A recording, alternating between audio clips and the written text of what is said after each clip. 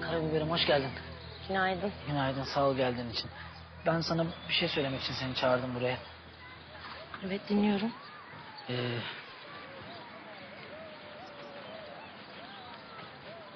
benim dün gece uyku girmedi ya gözüme. Ha, benim de. Senin de, senin niye? Ee, benim niye uykum kaçtı benim?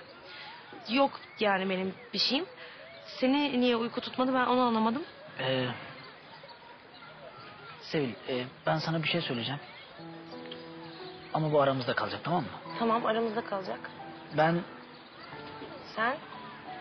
e, ben Evet sen.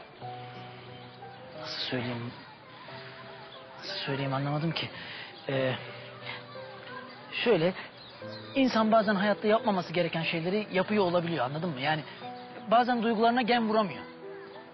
Evet. Evet. Evet. Yani mi- misal ben. Dünyada o kadar kız varken, etrafımda o kadar kız varken gidip en yakın arkadaşımın kardeşine vuruldum.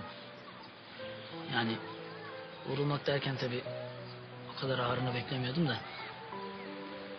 Biraz acıtıyor insanın canını.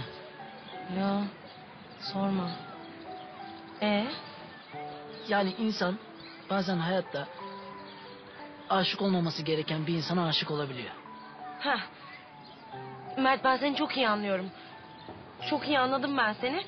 Aslında ben de bu konuyu konuşacaktım seninle. Süper. Ee, işte aynı konudan bahsedecekmişiz demek ki. Neyse uzatmayayım ben o zaman. Ya geçen Neşe geldi benim yanıma.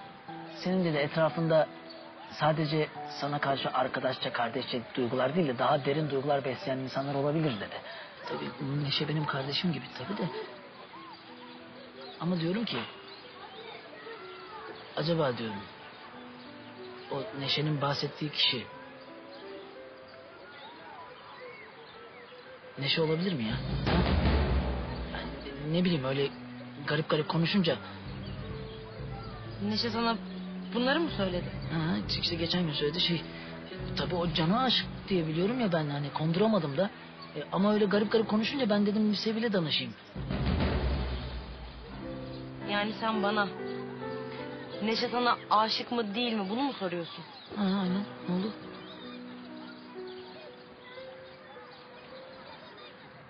Ya ben senin ne kadar kör olduğunu anladım. Sen Neşe'nin konuşmalarından bunu mu çıkardın? Ya ben sana yuh diyorum. Ben sana çüş diyorum. Ben sana artık oha diyorum. Sevil ben senin kalbini kıracak bir şey söylemedim ki. Özür dilerim anlamadım da. Ya boş versene Mert. Vallahi bırak ya. Sen zaten anlamazmışsın. Vallahi bak.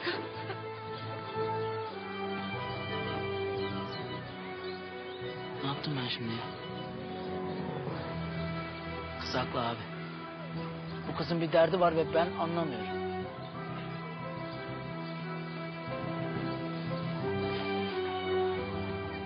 Ben zaten genel olarak anlamıyorum. Arkadaşlarımı da anlamıyorum, etrafımdakileri de anlamıyorum. Zaten yarın öbür gün dağılıp gideceğiz.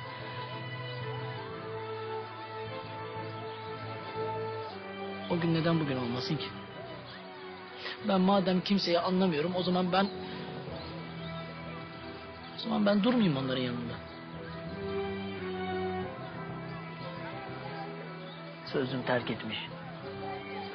Kan davası denen olay zaten bitmez. Bir kurşuna bakar her şey. Ben en iyisi gideyim ya. Ben en iyisi buralardan gideyim.